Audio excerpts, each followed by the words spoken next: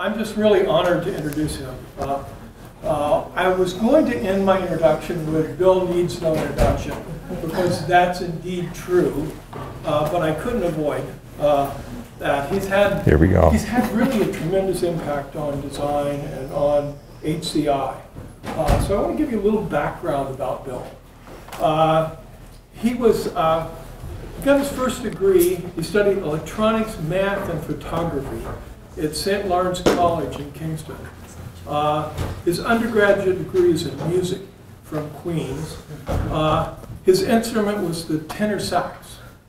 Uh, and uh, he moved uh, from there to the Institute of Sonology in the Netherlands, uh, took, where there he took classes in studio technique, compositional theory, computer composition, linguistics, and electro, uh, electroacoustics and psychoacoustics.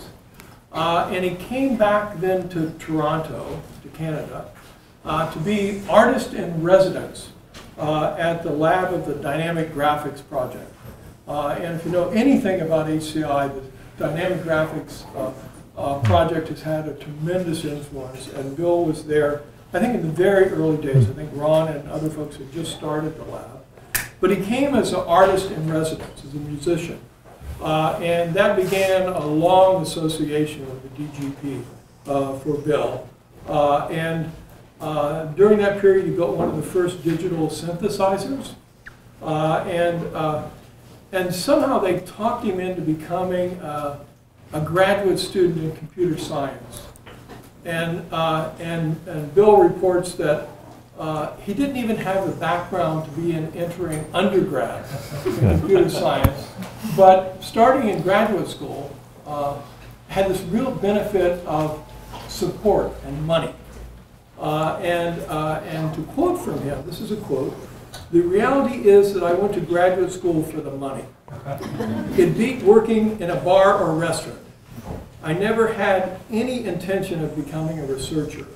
I just wanted to make my instrument and then go back to becoming a full-time musician. Uh, and uh, during his career, uh, unfortunately, he failed at this. Uh, not that he's not a good musician, but he surely became a researcher. Uh, and he's worked at uh, just amazing places. In the early, early days of Xerox PARC, he was one of the people that led the establishment of EuroPARC, this thing that spun off from PARC in England. Uh, he was chief scientist at Alias Wavefront. He was chief scientist at uh, Silicon Graphics at SGI. Uh, and, and now he's a principal researcher uh, at, at Microsoft Research. Uh, he has multiple honorary degrees uh, from around the world. Many awards, I could list them forever. He was the first recipient of the Grand Canadian Digital Media Pioneer Award, He's been written up in Business Week as one of the most influential designers. He's a fellow of the ACM, he's co-recipient of an Academy Award. Uh, you don't know there's a whole other set of Academy Awards that for some reason they don't televise, of these kind of technical awards. Uh, and he received that for, uh, uh, for the Maya software from Alias. Uh, he's the uh, 10th person to receive the SIGCHI Lifetime Research Award. Uh, Don was the fourth. I was the 17th. and uh, I could go on and on, but in every introduction, I always try to come up with some personal things about the person that, uh, that you know, you, you probably don't know about Bill, and Bill might not know that I know about Bill. Uh, and uh, he has a, a twin sister. Uh, his father was a preacher. Uh, he's really mad about climbing. He's totally mad about all the outdoor activities. He's very interested in the early explorers in Canada, the Voyageurs. Uh, he played ice hockey for the Dutch national team. He speaks Dutch. Uh, he was in a band, I think, called Machine Reasoning. Yes. Uh, uh, built his own birch bark canoe. Uh, he was in training to be an equestrian rider for the Olympics. Uh, he tells terrible jokes, uh, awful puns. Uh, he built a multi-touch interface in the late 80s. Uh, he loves his Avanti car.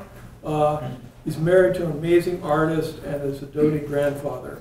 But the thing I admire absolutely most about Bill is just his love for ideas, and especially his advocacy of the central importance of appreciating the, the history of ideas. Uh, I think for me, ideas are like people, and you can only fully understand them in the, in the context of their history. And, and Bill has brought to many of us the importance of that uh, in looking at design and, and the history of HCI. Uh, I've surely run on too long, but uh, he's going to tell us about intelligent design and design for intelligence.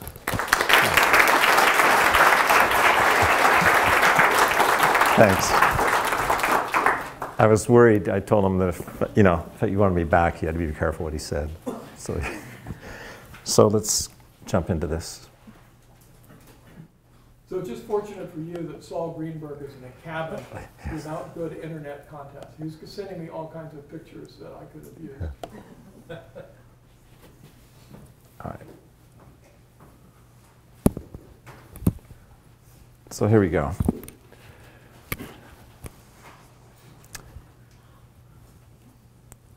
And we don't have a clicker, so actually, I'll invent one.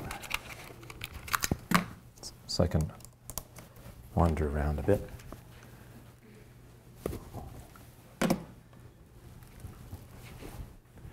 So my title you'll see around here is, um, it turns out there's these sharks circling, and they're circling our field. And um, they're in a feeding frenzy and it's sort of vague, it's amorphous, we can't quite get focus on it.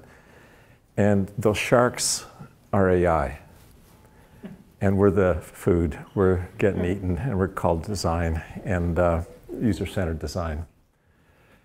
And uh, I, I don't want to, I can't teach you about AI, I can't teach you about psychology, and I probably can't teach you about design, but I can tell you what I'm seeing and what I'm feeling and what's keeping me awake at night. And I thought this is a good place to do this the first time in public because I, in some of the stuff, because um, the story about Don is that uh, one of his PhD students, who's now a good friend of both of ours, Abby Sellen, uh, I think she saw me give a talk and, about a study I'd done. And as she tells it, he, she came and said, this, I, There's this guy, Buxton, he doesn't know what the hell he's talking about. Knows nothing about psychology, experimental design. It's just pathetic and he, he's doing this stuff. And, and, and she's, way she said, well, Don, Don pat her on the head. It's okay, I would just wait. Give him some time. He'll grow up. And, and it's worth the wait. And, and hopefully um, this will help uh, convince you that that might be somewhat the case. But what we do want to do here is within this frenzy, um, have our inner Buddha uh, emerge so that we can all be, uh, find our place within our profession and where we fit within this feeding frenzy. And, and I went to, uh, I, I, might have to turn this captioning off. It's there for a reason. Um, uh, I went to the Journal of Record um, for most of America, namely USA Today, McPaper, and on the same day, in, in uh, December 8th uh, last year, it was fantastic in the money section. These two articles were side by side, symmetrically. And I'll just dive in a bit deeper so you can read them. Um, let me kill the captioning. I've made the point, sort of.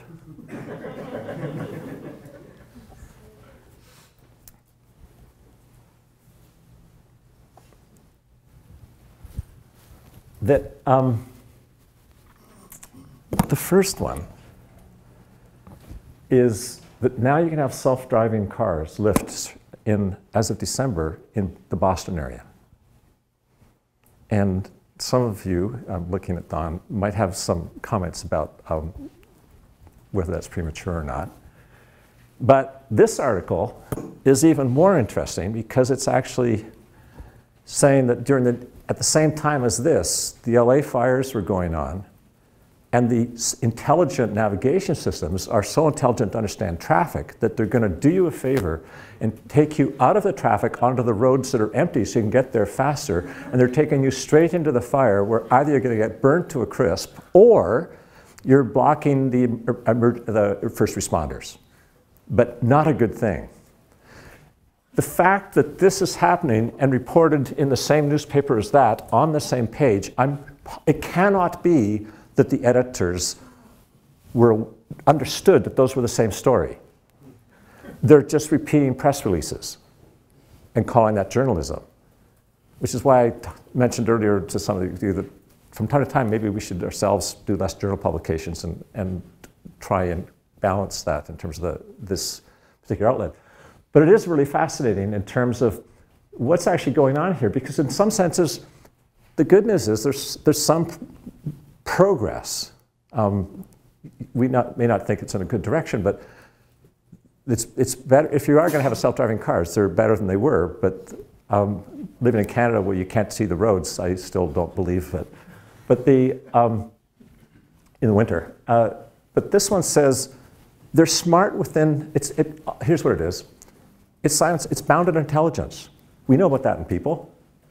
And, and, the, and the degrees of boundedness are really small.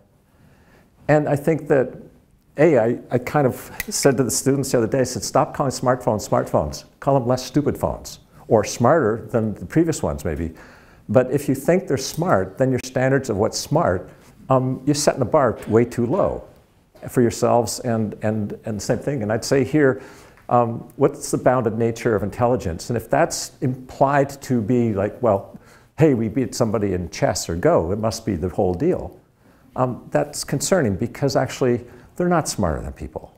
Um, it's sort of like David Letterman's, it's, it's, it's not like David Letterman's stupid pet tricks, but, but there's this notion that there's limitations here that are implicit and most people don't have the tools or information to understand them. And therefore there's chances for not, not so good things necessarily happen. So the question here about the boundedness has to do with context. And if I, this is probably the rule that I repeat the most uh, and I feel this most strongly about, and because it brings a whole bunch of baggage in, in a positive sense. Everything is best for something and worst for something else.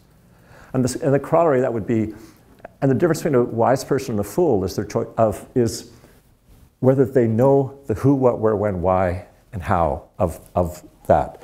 And it comes to what I say call uh, one side of Buxton's 360 rule.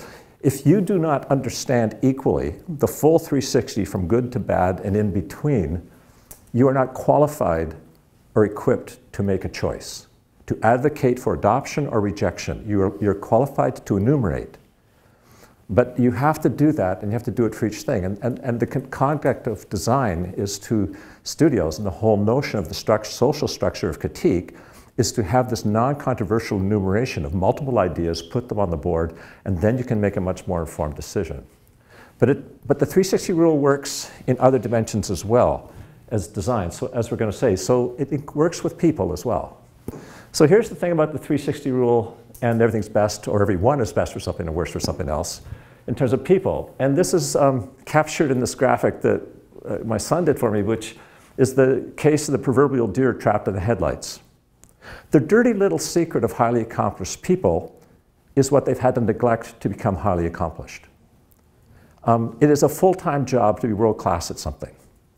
And therefore, you've had to neglect. Now, one of the consequences in HR, whether you're hiring a team for a research project, for a product, or for a company or whatever, the last person you should hire is the person you're most qualified to hire. Because the person you're most qualified to hire is yourself, because you know that cold if you're really good.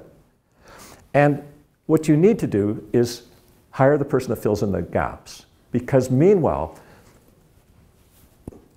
the challenge is, is that you're so brilliant at what you do that you're blind and you can't see the gaps because the gaps that are in my background, you have no idea because any normal person would know those things and I don't.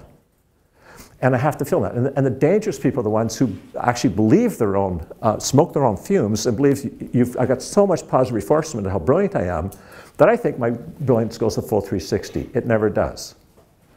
And, and therefore, you have to take that into account. So the challenge about putting a team together for any design project is figuring out where are the gaps, where are the shadows, and how do I populate them before I, I, I get redundancy in my own skill set. And that means you have to find out who to ask, ask to find out who to ask, who knows who, what to ask the person. It's kind of that kind of uh, complexity. But, but this, is, this is a really important thing. And when you go on this 360, you also understand every one of these decisions. If you say good, bad, those words immediately come with a, a question of what's the moral compass and the, what are the ethics. And so we understand every decision we make is, in fact, an ethical or value judgment. It's, it's not an arbitrary, um, you need to say that. So this notion about this limitations, and I'm going to jump into the old uh, T-shaped uh, uh, persona, but try and do a little bit of animation and, and try and bring a bit of perspective to a, a slightly different reading than is often used. But so here's the old uh, T-shaped thing. Um, Bill Moggridge and lots of other people before him uh, populated. But the key thing this says is that what does it actually mean? The breadth of the bar is the breadth of intelligence and our, expertise. And this is the depth. And what I just said about the dirty little secret is you absolutely can have broad literacy, but you cannot have broad depth. And one of the major confusions we make, I think, in terms of ourselves sometimes or others, is we confuse literacy and enthusiasm with depth. And sort of like how many people, so um, yet, no, I don't yet uh, have the qualifications to get into first year in computer science at the University of Toronto. But yes, I am a professor of computer science at the University of Toronto and a fellow of the ACM, so go figure that. But, but the point is, is that um, the, in computer science, people come up and they say, well, I'm a computer programmer, you know, and, and I say, that's great. Um, what does that mean? Because you know what? I taught first year computer science, 13 weeks. You can come out, you know what stacks and queues, linked lists and all that sort of stuff are. You can do algorithms, you can do binary search, you can do all kinds of searches. And you can program, yes.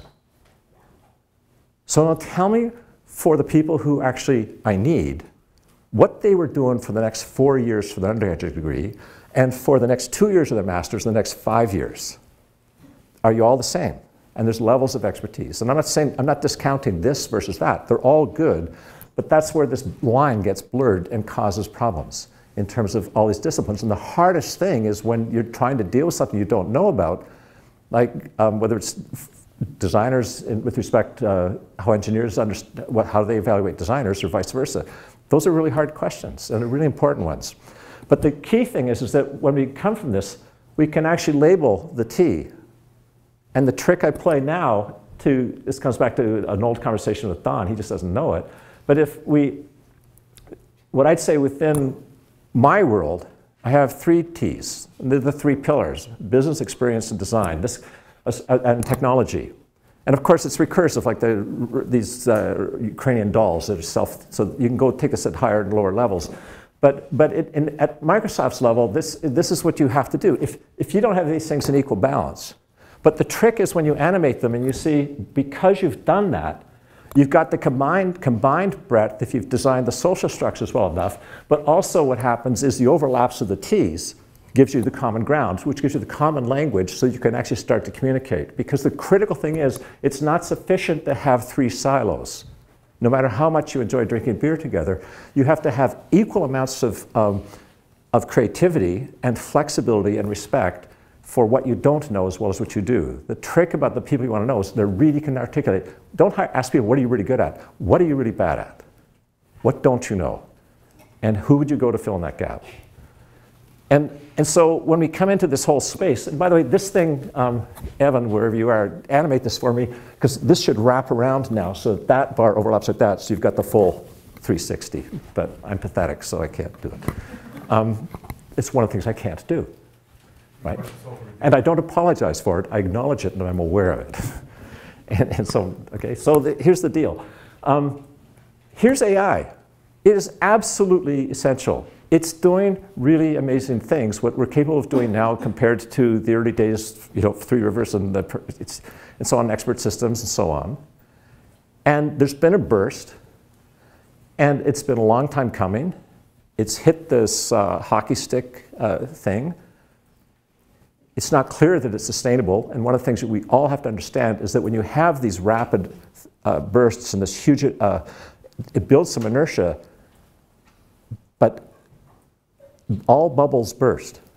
And, and, and the real question is, if you ask AI people, would be, why do you believe this is sustainable? And of the cur current things of, say, deep learning and so on and so forth, is that sufficient to be sustaining and take, fill in the gaps that are needed for, to achieve what people are talking about? And it's not clear to me that that is, but, but it's a legitimate question. So the, you can't believe the marketing or the hype. You have to start to think, be, we have to develop our critical thinking resources. But if AI is clearly there, but it, um, there's these other pieces to the puzzle. And it's really important, like, just like with the T's, that each one of these is essential, but none of them are sufficient on their own. None of them, and, and, and so, and they're all important pieces of the puzzle. And you could call them each one of these one of the T's. But what I worry about and what I predict is that the companies or the organizations that have the, invested the most in the dollar wars and the, and the battles about AI, the companies that have the best AI technology risk being beaten by somebody who's got 20% of that capability, but with way, they've invested in all of the requisite components that are necessary to really succeed and have it integrate into the larger ecosystem of users and technologies. And so, but there's some real social problems that happen here because if in the, in the price competition, you've got people that are way less qualified than you, getting paid double what you are because it's a, it's a it's a seller's market, generates resentments, and you have people moving around these organizations. And somehow you've got to manage that within the research, within education, because every part is essential and have to be balanced for any other one. So the, what the key thing, and that's partially what I'm doing here, is to say, for those of you who are in design, do not necessarily feel the pressure to go in and become an AI expert because the AI experts need you to be a design expert. But you need the literacy, and vice versa and that thing works around. But, and this is just a, a, tiny part of the puzzle. The puzzle is actually much larger, and everybody could have their own version of populating it and where the adjacencies are, and anyhow, a flat planar isn't probably the right geometry.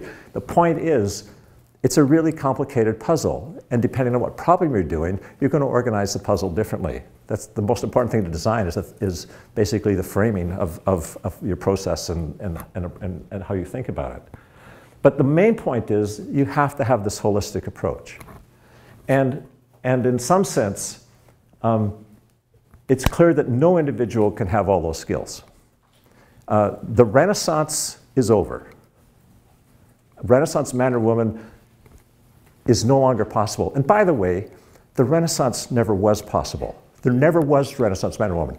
If the Renaissance really was, there really was a Renaissance man or woman, why did Leonardo need the Medici? Why did he do his own banking? And, or, and vice versa. Now, I'm, I'm, obviously, it's a stupid question, but it's just, I'm trying to provoke the thought that even then you needed people with different expertise in order to support yourself. Donatello could not have succeeded and be, being called out unless the Medici, one of them went into the studio that he was working as a, as a, as a backroom person and recognized the talent and then elevated them and supported them. And, and that has always been the case, even in the Renaissance. But Renaissance team absolutely is possible. This, this heterogeneous social network with the right organization, and of course, the, the, the stutter at the front is intentional because of the T's, right?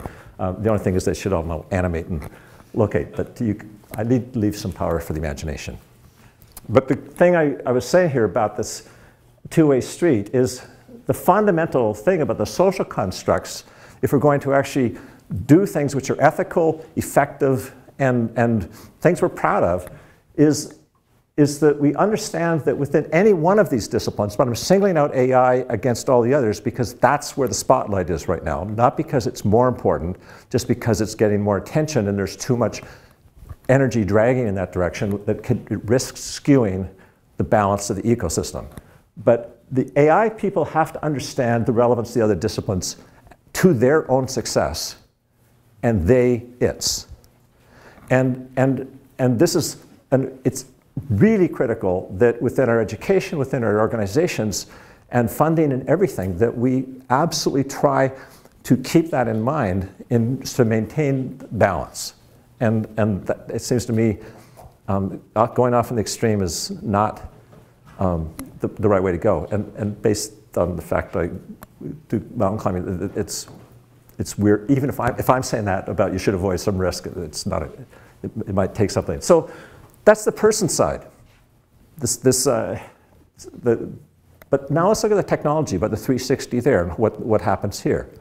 So, um, put really clearly, if you're driving your car and texting on your phone using a touch screen and your eye, eyes on and fingers on, you should lose your driver's license. That's just violates every um, the, the, moral order of, of anything. Of, I, it's hard to imagine a, a, situation where that's if you're actually driving the car, that kid's going to be gone. In Canada, kids play ice, uh, you know, ball hockey in the streets.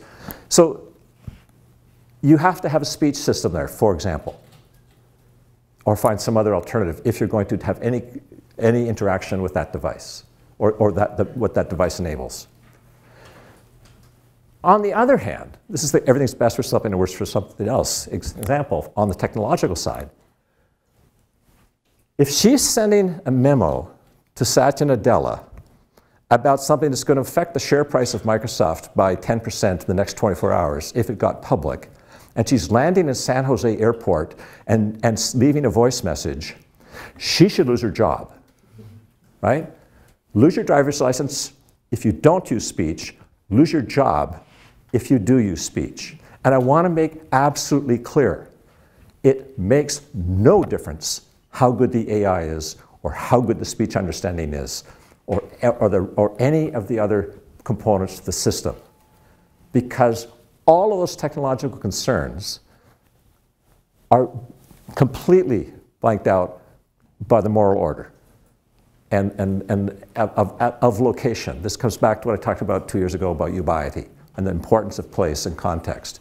But of course, the more you can define the place and context, the easier it is to understand the moral order, and therefore it's uh, all the easier to uh, design a system which can intelligently adapt to that context and do that dynamically. Hey, but, yeah. Do you think it's ethical for a passenger in a vehicle to text while driving? Well, for the passenger to text while uh, I'm sorry, to passenger to text while passenger. Oh, I, I think it, um, it can be, yes, if I'm trying to find out uh, if you're giving me directions so that you can actually be my surrogate. Because if I'm allowed to talk to you, that could be, but it depends when. Because if you're the passenger, you have a clear awareness of what's in front of me. You have the same visual field. So if I stop talking, I don't have to ask you to shut up because you see the kid running out in front or you see the, the, the car in front of me skid or somebody doing something stupid to tell you how bounded it is, but even in those. Show it's just as dangerous to talk on the phone or to talk to a passenger. Oh, it's no, it's not. It's the passenger interrupting the driver. They don't. They are not as sensitive to the outside as you. No, no, no. I, and then, and it also depends whether in the front or back seat, even. But I, the issue, the issue is, is that driver distraction is a real issue. Um, the fact that John Sanders is still alive is amazing. Um, but the, uh, but the, but the thing uh, is that leaving that part away, because I, because I read Don's book if you want to go to that issue. Uh, um, but the is this even if they're giving you perfect spoken instructions on your turn by turn from the computer, the computer has no idea what else is going along. It has no idea whether you're in the middle of a conversation. On things which are not urgent, but it's going to say, hey, I'm still here, it doesn't listen. Tell me again that's intelligent. It is in the micro sense, maybe. It's got some degree of something that might be called intelligence. But, but it, again, it's bounded. And unless you define the boundaries of that, you're, you're, you're missing, you're going to um, start you know, breathing your own smoke.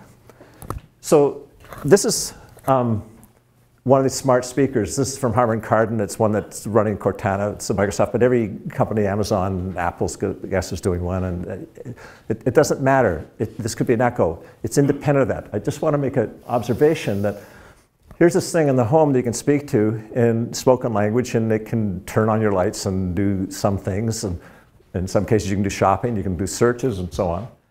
And here's a person in the background on a laptop that happens to be running Windows 10, let's pretend and it's using the accessibility option so that you can actually drive your computer if you have no arms, if you're quadriplegic. You can do everything you can do with a mouse, you can do through speech. They're both speech driven. They're both talking to Windows 10, and they're both, for example, pretend using a Cortana. Um, so let's do what we have to do to understand the bound of this is drill down and find out where are the dimensions of differentiation that might affect design or how, how we think about these things. What happens when you're talking, this, the example I want to do is I want to leave a memo and I'm using this version. And by the way, if you have a Windows computer, I highly encourage you to turn that on and just to experience it because how do you do experience design if you haven't curated the broadest and richest uh, palette of experiences of your own? as opposed to reading about them. It's, I, want, I want the true-on visceral experience. Do it for a day and pretend you're a paraplegic. And just, just try it. It's there on every machine. It has been for years. And, and you'll see um, some interesting things, which will become clear here if you compare this situation where you're having the conversation. Now, a lot of this has to do with legacy, which you cannot ignore because uh, refactoring is really hard and, and you can't just wave through that. You understand, there's 3,000 programmers working on Windows, for example, at order. It's, it's not tiny. Um, but here's the text, and you don't have to read it, but that is the text. It says, uh, lest we get carried away by the hype, blah, blah, blah. But, but look what's actually happening here conceptually. In this speech model, you're talking to the ribbon. You're basically using your voice as a proxy for a mouse. Uh, select the font, now hit that menu, drop that menu down, now select uh, Helvetica, now come down, point here, select, and all this up. Incredibly verbose and so on and so forth. It works, you can splice it on, it's lipstick on the pig. And, and now, look at this case. What, if you're using this, you have a completely different set of expectations. You're going to dictate the way that you would dictate uh, a memo uh, if, if, you had a, a, a, a, stenographer to just take notes. Just sort of say, okay, well, uh, let's uh, move this down. Uh, okay, new paragraph. Okay, put this in italics, and, and, and they would be able to take all that. Now, that is not how it works. But you, if, but if you can do this, why don't I just bypass that and go straight there from here so I have some consistency? And that's a really interesting question. Should we or shouldn't we? When? And because this isn't just about AI, uh, one of the things I do a lot of work with, and I'm on the corporate advisory board about accessibility, um, being able to access technology, uh, even if you have a desktop in that, um, if you're quadriplegic um, or ALS or whatever, is really important to have other modalities to actually interact with these things. And how do you take that into account? And, and how do you do it in a way that you don't have to maintain all these different things and have all these different speech groups? And can you find, if you go to the right level of abstraction, a way and by the way, one of the one word words for design is compromise. How do you find the most appropriate compromise to, that gets, is not necessarily ideal for any one thing, but, but manages to deliver the best value? But these are just kinds of questions that, that are tackling us. And so in that situation, you have this, the poor user, if they uh, there's, they're sort of torn between the, these two completely different, it's the same modalities of the same operating system, but one's command and control and the other's conversational.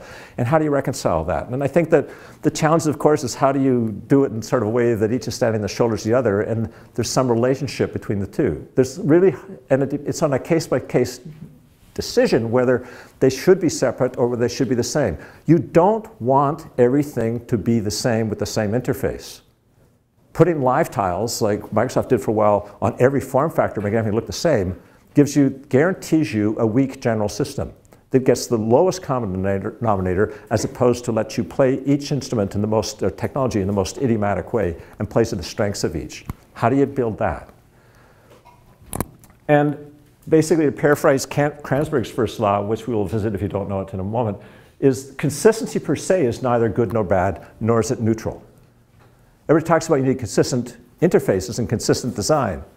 But the important thing is, do you mean graphical consistency? Or you copy everything exactly the same? Or do you mean you're consistent with expectations and consistent with the moral order or what the resources that are there at the time? Yes, I spent some time as a professional musician composing and writing. If I you know, if you ever try transcribing piano music for instruments, you will write the notes differently, phrase them differently. To get the same effect, you have to write different um, parts and so on and so forth. You have to adapt to the idiom. And if you don't, and the idiom, you only know depending on the, of the nature of the piece and where it's being held, uh, you're playing it. And, and so you sort of say, let me give you an example about consistency, which you don't even notice as consistency. And I think I touched on this example last year, but I'll do it slightly differently. That when you get in your car, and by the way, I like using the word language of, of sociology rather than technology. So let's have a human centered thing. Don't talk about pairing your phone, talk about establishing a kinship with your phone and the car. And I mean that because that brings a whole bunch of meta knowledge, which is really important.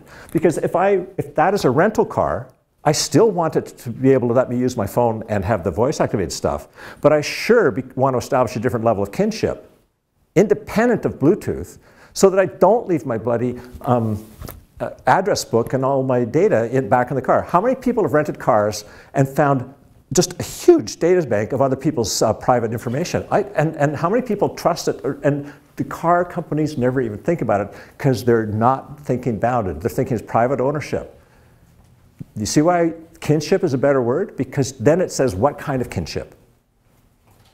And, and, and then we confuse the technology, which is the means, with the intent, which is to establish kinship. And, and again, try to have human-centered things. There's a large vocabulary from social science that help us understand and discuss the society of technologies. And, and so we come down here is to say, um, oh, I forgot the one other th- part of that example. I got carried away, uncharacteristically.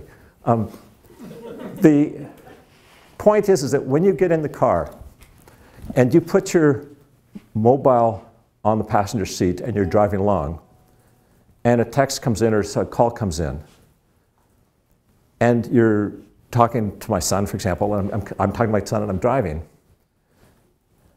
um, this, it will take Don's premise, it's, it's just as safe or just as dangerous to talk to him sitting on the car seat uh, through a phone or live. Let's, be, let's just take that as, as, a, as a hypothesis, okay? The where's the phone? And the answer is the two have aggregated and it's not about the phone. Um, you cannot separate. And in fact, of the handset and the car seat, only 10% at most of that is, technology is being used. The Bluetooth, the, uh, the SIM chip, a bit of battery and logic, everything else is in the car. And, and the second thing is the interaction language has had a 100% change. It is now absolutely not hands-on, eyes-on, it's completely voice and one or two buttons over here. And the amazing thing is that when I stop the car, I'm in the middle of the conversation, turn off the car, pick up the phone, I go like this and keep walking along. I smile every time that happens because I say, man, there's been a 100% change in interaction language, a 90% change in techno local technology management call, and because of those two huge inconsistencies, I have complete consistency of conversation. And that's the only consistency that matters. And I don't even notice that, that I can't play Angry Birds or do solitaire or, or do a spreadsheet while I'm driving, even though those apps are on the phone. Nobody misses. And that's how you manage the complexity, because you only expose what's appropriate to the moral order of, of the context. Again, ubiety. So the only, this is the old Proustian uh, interlude of, you know, this notion, the only true voyage of discovery isn't to go to new places, but to have other eyes. And through the uses of language and some of these other metaphors, just like a kinship, we start to change our way of thinking. Uh, in computer science, um, um, Ken Iverson won the Turing Award, and his, his, essay was actually really interesting. His, his Turing Award lecture was called Notation as a Tool of Thought. You know, it just falls back into the old topic got language, language got thought, and that sort of stuff. And it's, and it's really clear. How we speak is really important to communicate some of these things. And one of the things I say is design is choice. And we've got a couple things here that are critical. There's two places where we can exercise creativity and maybe only two places. And one is enumerating the scope within which we select meaningfully distinct alternatives to choose from. So it's the enumeration and expansion phase of design. The world is my oyster, I've got all these possibilities, and, and of course you have to know what constitutes meaningfully distinct. How do I, how do I do, decide that? And, and that scope is the part, because that is what controls the bounding issues of the limited intelligence or the limited limitations of the design. And the second is the heuristics according to which we make the choices. And, and again, this is why you need that broad base of experience, because that is the only hope we have or to reliably um, try and get the maximum bounding within the means available at that particular point in history and, and uh, of our understanding and, and technology and so on. But let's look where we are in terms of um, silos. We have, um, we have, we're getting, compared to 10, even 10 years ago, the ability to speak and have uh, the syntactic and, and, have what, what would is any reasonable person would call understanding within the limited domains, it's pretty amazing, the progress, and, and in prosody and everything. But here's this. The AI and speech understanding and language systems is not design, it isn't HCI. It's a seriously hard problem that it, in computational linguistics and hiding or pretending to be a panacea in design. All we have to do is talk to our computers. This has been for the whole time I've been in the world, uh, 45 years of this field, Don's, we will concede. It has always been, if all you have to do is just make everything so you can speak like a person and everything, all your problems will be solved. That is absolutely not true. I mean, first of all, you have to be able to shoot these things down and have the answers right away. Look at this. This is Surface Hub. It's an 84 inch uh, touchscreen pen thing. It's collaborative whiteboard and so on and so forth. I don't care what major player you are in speech recognition. To my knowledge, and I've looked fairly carefully and I would welcome to be corrected, there's not a single one which is capable of you walking up to the same computer, running the speech recognition, running the same operating system, and going from speech to saying, what is that? Or you can use a deictic gesture to indicate a, directional pronoun. You cannot resolve that, there, them. And if you can't do that, I'm sorry. And the problem, you, you, you aren't doing design because that says, oh yeah, when I'm walking around myself, I can bob away and get to have this chat bot that I can speak to. But the minute I get up to the other things in the ecosystem and carry the task with me, I can't do that. Now, the thing that really drives me crazy about this is 1978, Dick Bolt and, and, and his students at, at, at was then called the Architecture Machine Group had this thing called Put That There. And you literally could do that with speech and gesture and not even contact. You don't even need a touch screen. Now, when I talk to people in AI about this, what they say, oh, great, well, we're going to work on that. We're actually going to put a camera on the front. We're going to be able to recognize your gestures and stuff like that. No, shut up and listen. That's our computer. That's our touchscreen. If you can't do it on a two-dimensional thing on a touchscreen, then don't, you know, if you want to just play with image processing, that's fine, but don't pretend you're solving my problem. You're trying to fly before you can even crawl. I just want to do that. And it's not in the underlying language model. It's not a simple matter of programming just to change those things. And so there's a case where having the distance from design, if you know the history of, of this work, then you're going to be able to bring that in, not in an aggressive way, but in a constructive way to help raise the state of the game. So, because the further you go in the silo, the more expensive it is to refactor. And, and what's interesting about this in 1978, you can talk to Chris Schmandt about it because it, it's pretty funny. First of all, go to put that there on YouTube, watch the video. I think the video was shot in 78. Every piece of technology was over the counter, purchased. They didn't build anything. They just glued stuff together with bubble gum. The rear projection, it cost a fortune. I guess DARPA had a lot of money in those days. But because it was like for command and control systems. It worked. Super limited vocabulary. It limped. Um, it took multiple takes to get enough shots to glue that video together. Okay? But Nobody in the language committee really knows about that work because it was never, Dick was never taken seriously. He was an interesting guy, but, but that was, and, and so he didn't fit in. And, but the point is, the lesson there is what's important, not the technology. And, and I can't talk without using my hands. It, it's just, it, it's those types of huge holes which are going to come and bite us really hard if we don't do our business in the larger um, holistic view that I, I, started talking about. But I'll give you some other examples about this comes down to the part of on intelligence is that um, here's somebody coming out of a Staples store. Now, when you're walking out of a supermarket, it, it's a fair assumption that you might have your arms full of groceries or you might have a cart. In either case, you, you have to do something like that or bash it and, and push.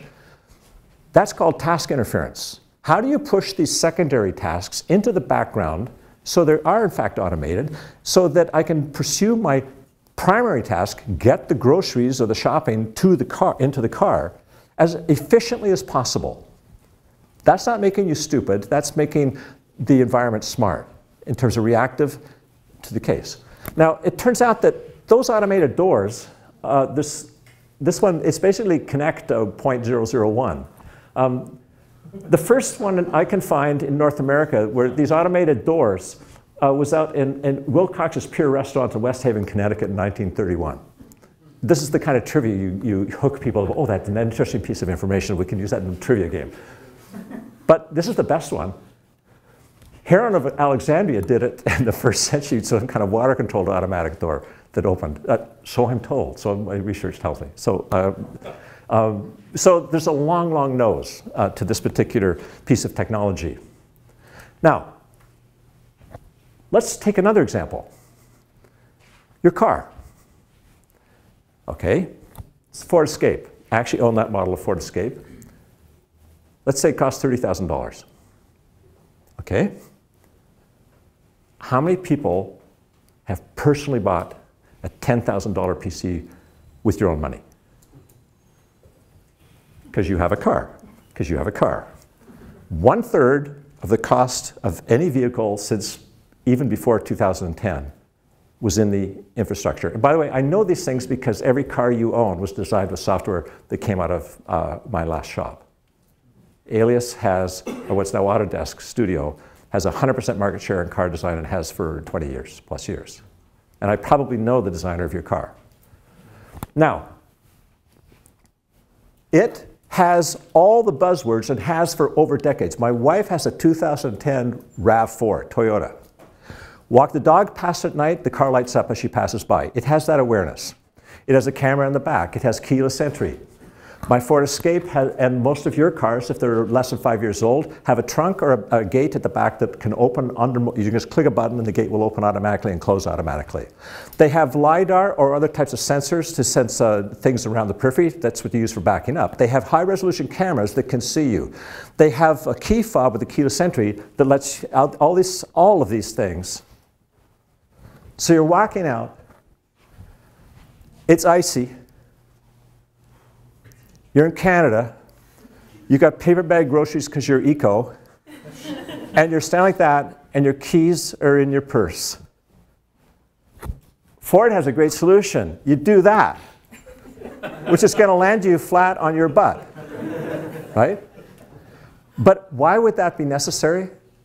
It has a GPS system. The GPS system knows it's at a supermarket. It knows it's your car. It knows it's you behind it because it can have all these things. The, it, the key fob's telling it which store you're at because that, that actually does work. It only if you grab the thing, it will open only the doors if you're there, if it's locked, if you have the fob.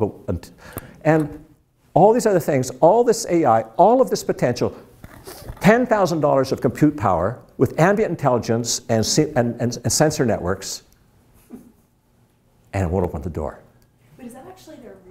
Yes, yes, that is not a fake picture. That is a feature. Come on, what, don't you understand features? What's wrong with you? Really? Yes, Yeah. it's very common. Yeah, okay, so the thing is this. That's your car. That's not your supermarket. And that door is not in a bank vault where it would not be a very, you wouldn't keep your money in the bank if it had an automatic in and out door. And so I want to ask you this is a one bit computer with virtually no memory, an input device and an output device, a motor and a sensor. And this is $10,000 of the latest technology with a lot of AI. Which is the more intelligent system? Right? Okay, that, orders of magnitude for this particular transaction, that can't guide you to get from here to my hotel or back. but it can open the door when I need it opened in the background and not and avoid the task interference. And it only can do that because it knows its place. And the intelligence is the intelligence of the person who invented it and put it there in that location at that time during those, off, during those particular hours. This thing has huge potential, but everybody designed the components in these little silos and didn't think about what their kinships were and what the transactions were because they were thinking narrow. The problem is groceries from the counter into the car. Now, if you think skill is important, and this is like Anderson, or also this whole notion of chunking and this notion of aggregation is a notion of skill, cognitive or otherwise, they stopped at, at, a, at a low-level subtree instead of going up in terms of transaction. What is the high-order bit in terms of this overall encompassing transaction? And that, and, and there, everything you know about skill acquisition can apply to how we think about doing this type of thing. And it's more important because here's the important thing. Your customers, our users, do not give a care in the world for whether there's AI in your system. They just want things to behave in a reasonable, intelligent way and not, uh, and where it gives you emotional, positive feedback and so on and so forth. That's intelligence. And that means adaptivity. So where does intelligence live this line? And I'd argue, what I'm going to argue now is that basically most of AI is notion of intelligence is at least 50 years old. And it's kind of this brain in a bottle um, uh, version that it, it's sort of like, I could start with this and be more, this one here just to be we use our language, what a brainer, what a head and the shoulders, that sort of stuff to say how smart people are. The assumption implicitly in that kind of conversation says this is where all the intelligence lies. It just cracks me up when I read about somebody, a neuroscientist, who's put somebody into a, a CAT scan and measured and say, this is where creativity happens. How can you be creative when you're in the middle of a CAT scan or, or, or laugh at jokes? But the point is, is that, um, you know, there's nobody to make funny faces. But if we, but that's more what's really happening. And, and so it's, to a large extent, it's, it's missing the whole part of embodied intelligence. You know, you sort of say, well, how can you understand that rock without feeling it? But it's even more, how can you understand that if you know that my friend Henry picked it up in the uh, uh, Camino Santiago in, in, on, on, a pilgrimage and brought it back as a gift to me of a sort of symbolic thing and has all this emotional stuff to it too. How could that knowledge be there or know anything about it? And and this, uh, Frank Wilson had this great thing in his book. He said, any theory of, of human intelligence which ignores the independence of hand and brain function, the historic origins of which, you know, you can read it yourself, is, is trivial. This motor memory and this stuff is really, in terms of body intelligence, really interesting. I had a hip replacement. Only had one. The thing about it is, that I, oh, this is what I want to talk about. We talked about at dinner, but strange thing happened. I was fit enough. I working on crutches trying to get mobile again, I forgot, my leg forgot how to walk. I could put weight on it. I could tell my brain to move it, and it would move. All the connections to the brain and the leg were there. But I, could, I don't know how to do it because I've never thought about it because it's been automatic since I was one year old. And I'm 69, uh, 67 when that happened. So what I had to do, luckily we have two legs. I'd sit with my crutches and I'd study this foot movement and then I'd try and copy mentally in, in, in controlled attentive behavior till I finally retrained it. But it's really funny, but I lost my memory. But the motor, I lost the muscle memory. This is where you can tell you later that this is nuts, but it was really weird. It was, it was this funny thing. You have to get a hip replacement to become a good designer because it's all about curating experience design, right? To have that experience, it was kind of neat. But, but we come back here to, to this, uh, this, this, this institute is that that's not even enough. Embodied isn't enough. If you don't go into extended intelligence, you're missing the boat. And this is why I keep coming back to this notion of ubiety, that the intelligence lies throughout, not just in the mind, it, it, exists in the social structure. If you're in a commercial versus a Navy ship, the social structure is going to be different, so there's a different kind of intelligence. And this is where we start to go. And the framing, this is just another layer on the Russian dolls, that how further we go out and out and out, and that's where the intelligence is embodied. And so we have to use this term intelligent, intelligence intelligently and, and understand where we sit. And so this is just telling me I'm out of time, so I guess it's going to just keep flipping through for some weird reason. But the, stop this. That's pretty funny. See, I'm talking about AI and it's a computer and it's hearing me and it's sort of saying, okay, I'm going to get you for that. Um, um, it's, yes, so you know what? I don't have to do that. they, so this is, comes back to, but let's come back to, let's think about different types of intelligence. And I know that Piaget's theories about child development and development psychology are kind of dated. But this definition that he has about intelligence as the ability of an organism to adapt to the change of environment through a dual process of accommodation and assimilation seems to me a pretty appropriate uh, short definition of a relevant way to think about AI from the perspective of design. And the key words there are adaptation and change, because that implies mobility, movement. Either, and I don't just mean physical movement, but conceptual movement, social movement, um, physical movement. And that means from place to place. That means it's about transitions. It means that you have to be aware of the transitions and the resources that are available during that transition. I didn't mention in the car. Well, while driving in the car and being overwhelmed and about how smiling I am when I, how happy I am when I pick the phone up off the seat and get out and, and speak and the, everything, the transition is beautiful. How many of you, when you're driving down the freeway, are just flabbergasted by the fact that your call is being handed off from cell tower to cell tower to cell tower to cell tower? That is more magic than anything. And how does it do that? And by the way, the first cellular phone call was done in 1978. It wasn't actually, it was a prototype because they only had a couple cells. The first, it took 10 years to build out the infrastructure, even in a limited area, till, till 88 before you could actually deploy cell towers because you needed the towers and the handoff mechanism, the infrastructure, and that build that ecosystem out. Now, if you could do it with that at those prices, why can't we do it within the devices that we have right now so that as I move through my human and digital, this mixed ecosystem, that I can't have the same kind of handoff that I've already experienced in my car with my phone in terms of the adaptation there.